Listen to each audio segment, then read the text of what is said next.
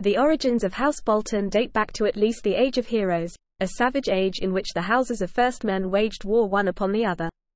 For centuries, the Red Kings of House Bolton resisted the efforts of the Stark Kings of Winter to unify the North under their rule, killing several Starks in the process, and, according to rumors, keeping their skins as trophies and even wearing them as cloaks. During these centuries when the North was divided into a dozen or so smaller petty kingdoms, the Boltons and Starks were chief rivals for domination over all the others.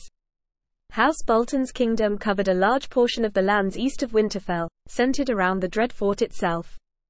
Eventually, the Boltons were defeated and bent the knee to House Stark, giving up the practice of flaying their prisoners as sign of their submission. Nevertheless, they remained the second most powerful house of the North. However, the practice of flaying was not officially outlawed until the lordship of Eddard Stark.